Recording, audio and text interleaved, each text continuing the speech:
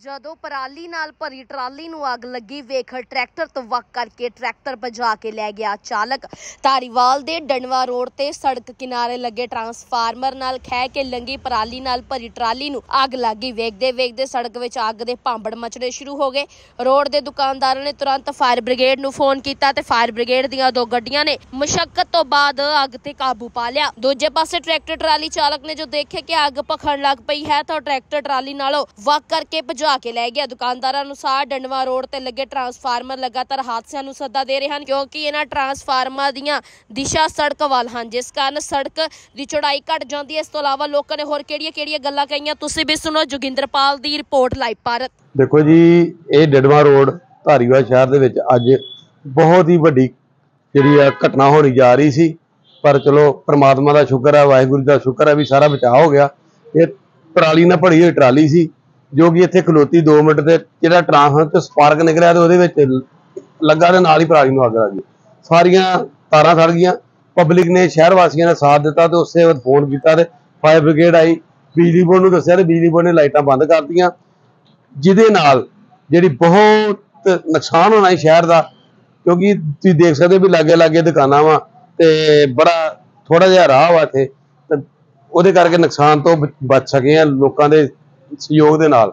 ਮੈਂ ਅੱਗੇ ਵੀ ਬੜੀ ਵਾਰੀ ਬਿਜਲੀ ਬੋਰਡ ਨੂੰ ਲਿਖ ਕੇ ਦਿੱਤਾ ਵੀ ਸਾਡੇ ਜਿਹੜਾ ਡਡਵਾ ਰੋਡ ਤੇ ਉੱਥੇ ਬਹੁਤ ਰਸ਼ ਰਹਿੰਦਾ, ਉੱਥੇ ਜਿਹੜੇ ਟਰਾਂਸਫਾਰਮਰ ਲੱਗੇ ਆ, ਉਹ ਚੜਾਈ ਦੇ ਲੱਗੇ ਆ, ਉਹਨੂੰ ਦੂਸਰੀ ਸਾਈਡ ਚੇਂਜ ਕੀਤੀ ਜਾਏ ਤਾਂ ਕਿ ਰਾਹ ਖੁੱਲਾ ਹੋ ਜੇ ਰਾਹ ਟਾਈਟ ਹੋਣ ਕਰਕੇ ਹੀ ਇਹ ਸਾਰਾ ਨੁਕਸਾਨ ਹੋ ਚੁੱਕਿਆ, ਕਿਉਂਕਿ ਇੱਥੇ ਅਕਸਰ ਜਾਮ ਲੱਗਾ ਰਹਿੰਦਾ ਵਾ ਤੇ ਜਿਹਨੇ ਤਿੰਨ ਟਰਾਂਸਫਾਰਮਰ ਇਸ ਡਡਵਾ ਰੋਡ ਤੇ ਲੱਗੇ ਆ, ਸ਼ਹਿਰ ਦੇ ਵਿੱਚੋਂ ਜਿਹੜੇ, ਉਹਨਾਂ ਨੂੰ ਜੇ ਅਸੀਂ ਸਾਈਡ ਚੇਂਜ ਕਰ ਦਈਏ ਤੇ ਬਹੁਤ ਫਾਇਦਾ ਹੋਏਗਾ ਇੱਕ ਤੇ ਰੋਡ ਵੀ ਖੁੱਲੀ ਹੋ ਜਾਣਗੀਆਂ ਤੇ ਮੇਰੇ ਤੇ ਇਹੋ ਹੀ ਆ ਰਿਕੁਐਸਟ ਵਾ ਬਿਜਲੀ ਬੋਰਡ ਡਿਪਾਰਟਮੈਂਟ ਦੇ ਅੱਗੇ ਕਿ ਤੁਹਾਨੂੰ ਮੈਂ ਅੱਗੇ ਦੋ ਤਿੰਨ ਵਾਰੀ ਲਿਖ ਕੇ ਦੇਤਾ। ਐਸਟੀਮੇਟ ਵੀ ਬਣ ਗਏ ਐਕਸੀ ਸਾਹਿਬ ਨੂੰ ਕਹਿਤਾ, ਐਸੀ ਸਾਹਿਬ ਨੂੰ ਕਹਿਤਾ। ਪਰ ਇੱਧਰ ਧਿਆਨ ਦਿਓ, ਜਿਸ ਤਰ੍ਹਾਂ ਅੱਜ ਬਹੁਤ ਵੱਡਾ ਨੁਕਸਾਨ ਹੋਣਾ ਸੀ, ਚਲੋ ਪ੍ਰਮਾਤਮਾ ਨੇ ਬਚਾ ਲਿਆ ਤੇ ਗਾਂ ਤੋਂ ਇਹ ਨੁਕਸਾਨ ਨਾ ਹੋਏ। ਤੇ ਤੁਸੀਂ ਬਿਲਕੁਲ ਸੜਕ ਤੇ ਲੱਗੇ ਆ ਇਸ ਨੂੰ ਅਸੀਂ ਖੜੇ ਰੋਕ ਲੱਗੇ ਦੇ ਆ ਖੜੇ ਤੇ ਜੇ ਦੂਸਰੀ ਬੋਰਡ ਦੂਸਰੀ ਤਰ੍ਹਾਂ ਕਰ ਦਾਂਗੇ ਤੇ ਉਹਨੂੰ ਬੜਾ ਵਧੀਆ ਹੋ ਜਾਏਗਾ ਵੀ ਰਾਹ ਖੁੱਲਾ ਹੋ ਜਾਏਗਾ। ਇਹ ਦਿਨ ਦੇ ਟਾਈਮ ਲੱਗੀ ਜੇ ਰਾਤ ਹੁੰਦਾ ਤੇ ਕਿੰਨਾ ਨੁਕਸਾਨ ਹੋਣਾ ਹੈ ਕਿੰਨੇ ਦੁਕਾਨਦਾਰਾਂ ਲਾਗੇ ਬੜੇ ਬੜੇ ਉਹਨਾਂ ਨੇ ਮਾਰ ਰੱਖੇ ਦੇ ਆ।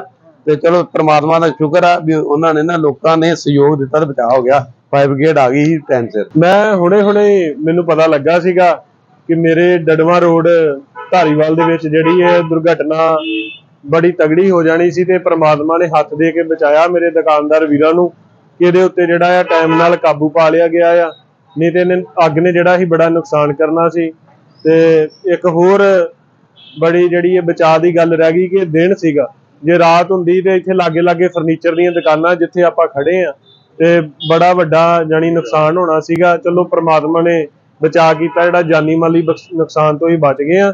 ਤੇ ਪ੍ਰਸ਼ਾਸਨ ਨੂੰ ਮੈਂ ਮੰਗ ਕਰਦਾ ਵਾਂ ਤੇ ਵੀ ਜਿਹੜੇ ਇਹ ਖੰਭੇ ਆ, ਪ੍ਰਧਾਨ ਜੀ ਨੇ ਦੱਸਿਆ, ਜਿੱਦਾਂ ਕਿ ਆਪਣੇ ਬੜੀ ਦੇਰ ਤੋਂ ਕਹਿ ਰਹੇ ਆ, ਪ੍ਰਯਾਸ ਕਰ ਰਹੇ ਆ ਕਿ ਇਹਨਾਂ ਨੂੰ ਜਿਹੜਾ ਇੱਕ ਸਾਈਡ ਕੀਤਾ ਜਾਵੇ। ਤੇ ਮੈਂ ਵੀ ਜਿਹੜਾ ਆ, ਸਵੇਰੇ ਹੀ ਨਾਲ ਜਾ ਕੇ ਨਾਲੇ ਤੇ ਸੋਮਵਾਰ ਹੈ ਸਵੇਰੇ, ਅੱਜ ਛੁੱਟੀ ਦਾ ਦਿਨ ਆਪਾਂ ਸੰਪਰਕ ਤੇ ਕੀਤਾ ਆ। ਤੇ ਧਿਆਨ ਚ ਤੇ ਲਿਆਂਦੀ ਆ ਗੱਲ ਬਿਜਲੀ ਬੋਰਡ ਦੇ।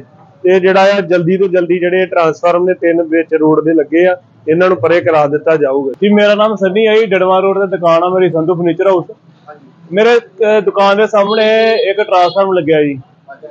ਟਰਾਂਸਫਾਰਮ ਦੇ ਲਾਗੇ ਕੋਈ ਵੀ ਟਰਾਲੀ ਲੰਘਦੀ ਆ ਉਹ ਜ਼ਿਆਦਾਤਰ ਖਹਿ ਕੇ ਲੰਘਦੀ ਆ ਵਾ ਤੇ ਅਸੀਂ ਪੂਰਾ ਦਿਨ ਇਹੀ ਕੰਮ ਤੇ ਰਹਿੰਦੇ ਆ ਕਿ ਟਰਾਲੀਆਂ ਕਿੱਦਾਂ ਲੰਘਾਈਏ।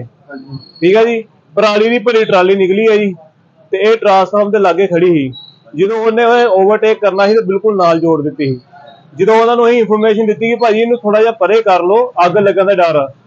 ਜਦੋਂ ਉਹਨਾਂ ਨੇ ਪਰੇ ਕੀਤੀ ਤੇ ਉਹ ਨਾਲੇ ਉਹ ਤੋਂ ਸਪਾਰਕ ਹੋਈ ਆ ਸਪਾਰਕ ਹੋ ਕੇ ਅੱਗ ਲੱਗੀ ਹੈ ਤੇ ਉਹ ਅੱਗ ਲੱਗਣ ਦੇ ਬਾਅਦ ਉਹਨੇ ਬੈਕ ਕਰਕੇ ਤੇ ਟਰਾਲੀ ਲਾਈ ਆ ਤੇ ਟਰੈਕਟਰ ਜਿਹੜਾ ਵਾ ਉਹ ਭਜਾ ਕੇ ਲੈ ਗਿਆ ਜੀ। ਹਾਂਜੀ ਇਹ ਜੀ ਆਪਣੇ ਡੜਵਾ ਤੋਂ ਆਂਦੀ ਪਈ ਜੀ ਸ਼ਹਿਰ ਨੂੰ। ਕਿੰਨੇ ਕੁ ਆਗੀ ਜੀ ਹਾਂਜੀ? ਆਗੀ ਕਿਸ ਤਰ੍ਹਾਂ ਮਗੇ ਇਸ ਤਰ੍ਹਾਂ ਬਹੁਤ ਮੰਗੇ ਬਹੁਤ ਜ਼ਿਆਦਾ ਅੱਗੀ ਜੀ। ਦੋ ਫਾਇਰ ਬ੍ਰਿਗੇਡ ਦੀਆਂ ਗੱਡੀਆਂ ਆਈਆਂ ਵਾ ਜਿਨ੍ਹਾਂ ਨੇ ਅੱਗ ਬੁਝਾਈ ਹੈ ਜੀ।